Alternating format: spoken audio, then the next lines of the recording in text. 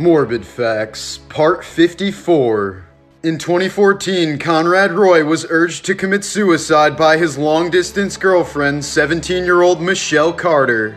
Conrad was found dead in his truck where he had been on the phone with Michelle the whole time. When he got out of his truck and told her he was too scared to go through with the suicide, she told him to get back in and that quote, the time is right and you are ready. Just do it, babe.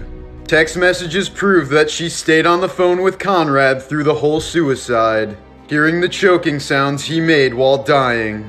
After his body was found, she made a post on her Facebook account saying that she never tried harder in her life to save somebody.